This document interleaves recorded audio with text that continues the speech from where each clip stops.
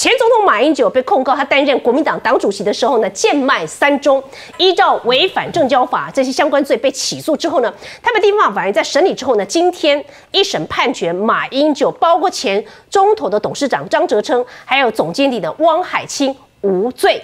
无罪。马英九透过了办公室说，他感到欣慰，虽然三中案惊险过关，但是还有两颗弊案未爆弹整着他。两颗弊案的未爆弹到底是什么呢？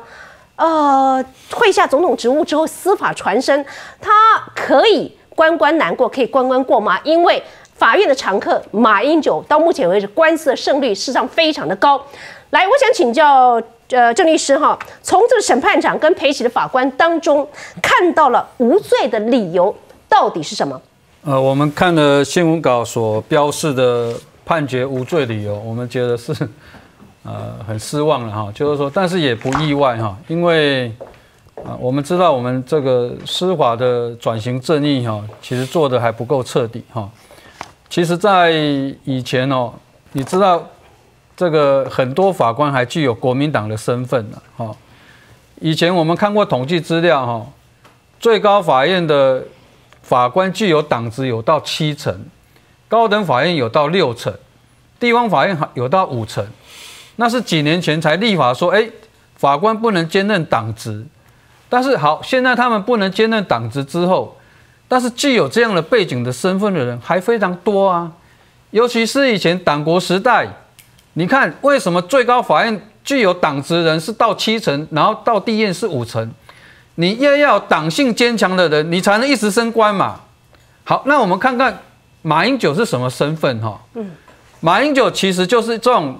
党国庇护之下的党国权贵的党国之子嘛，他刚刚这个判决，他其实主要理由，第一个说，哎，马英九不是公司的董事，这是一个；对，第二个就是说，哎，这个价格没有贱价卖，他其实都，我觉得这判决的理由哦，有主要主要三个问题啊，第一个就是说，跟市场跟民意脱节。这个整个判决理由，你看他这个理由就跟整个人民的所谓的 common sense 是脱节的哈。第二个就是说，这个判决看不出说，哎，这个法官好像跟这个市场完全脱节。像我们刚刚节目请市场专家讲得很清楚啊，但是这个法官好像跟整个市场是脱节的。我等一下稍微提这样。是。第三个，等一下你会看到他整个自己的理由要打到自己的理由，理由矛盾啊。好，比如说他有提到说前面两个公司哦，像中影哈，说什么因为这个卖的时候有出具会计师的合理的评估，但是很很奇怪哦，会计师不是估价专家哎，你为什么这么三大的三宗案都是很重大资产的，你为什么不找真正的估价师来估价？然后他说，哎，前面这个中影有这个有会计师哈。但是他后面哦判决这个呃中广的时候哦卖贱卖给这个赵少康的时候，也连会计师的这个合理的评估报告都没有，他又认为没问题，所以他整个判决理由是矛盾。那我回到小金姐刚刚提到，就是说马英九不是这个中投公司的董事长，到底他有没有？他不是他的董事，不是董事，也不是董事长，是。但是我们刑法就采所谓的实质认定了，就说，哎，这个董事长张泽生是那时候国民党的呃行管会主委，哎，是他任命他去当行管会主委，然后兼任党产的管理人，跟兼任这个两个中投跟光华公司的董事长，哎，他是要听命马英九党主席的话，党营事业最大的影响力是谁？当然是马英九啊，啊，所以他是其实对这个呃党产是有实质控制，而且他对这个张哲珍哦，他是有实质控制力的。我们的刑法的 common sense 哦，所有的刑案哦，就是在查他有没有实质控制这个能力啊。嗯，所以他第一个这个判决理由，我觉得是。违反他他们自己法院，会不会太扯淡了？这个法官是生在哪个年代啊？所以我是觉得这个是完全脱离民意，所以人家会说恐龙判决，恐龙判决。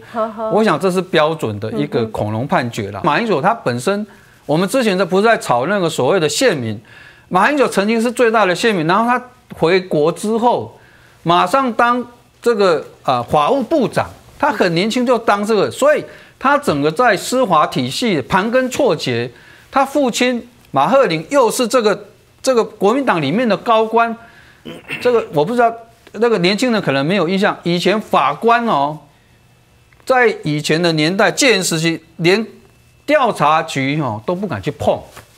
所以你看哦。马英九是当过这个法务部长，又当过党主席，又当过总统的人。嗯，那那一些人其实很多人都还存在啊。所以马英九这种党国系统，然后跟这个司法的牵扯是非常深的。所以为什么这样的判决理由这么矛盾、这么离谱，也写得出来？是是。所以我是觉得这个是非常荒谬的。可以写出这样的判决来，这个汪老师怎么看？说得通吗？说得通吗？我还举更多的例子，包括他说，呃，赵少康马下中广是当时的最低价，而且它里面还特别提到说，呃，因为最主要是荣利公司，那荣利公司就是呃当时中实体系的呃，于建新，于建新系统嘛，哈，他说当时买卖的交易过程里头没有其他的买家，只有他，可是